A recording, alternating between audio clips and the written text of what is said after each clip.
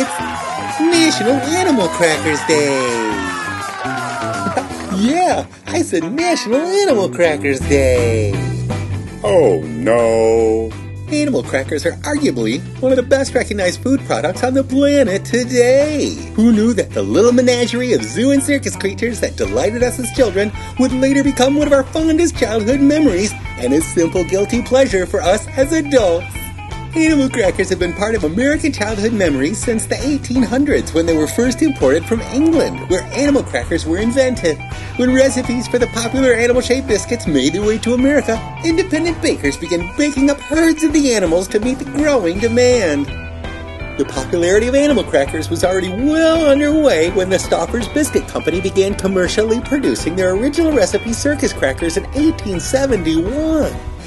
Stauffer's unique baking process created a slightly sweet, crispy, cracker like biscuit that dominated the growing animal cracker category for years. Then, in 1902, the big competition arrived that transformed the animal cracker industry forever when the National Biscuit Company, or Nabisco, introduced their brand of animal crackers packaged in small boxes that looked like P.T. Barnum circus train cars, they quickly became the most popular brand of animal crackers in America. Their ingenious circus train themed packages were initially sold as Christmas tree ornaments. The colorful boxes sporting exotic animals and circus train cars with a string for hanging on the tree were an immediate hit with children who begged for boxes of animals to carry around by a string. When all the animals in a box had been devoured, children filled the circus car boxes with childhood treasures, creating an unexpected shelf life extension and bonus marketing for the Barnum's Animals brand. Did you know the earliest known print recipe for animal crackers is in a book called Secrets of the Bakers and Confectioners Trade, written by J.D. Hounihan and first published in 1877?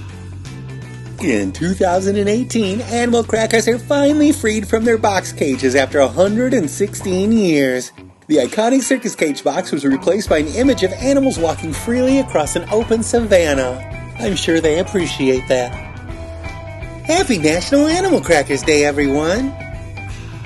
Thank you for listening today. My name is Kevin. Welcome to my channel, Everything Kevin. If you like this video, please press like below. If you'd like to see more, please press subscribe. Take it easy, man.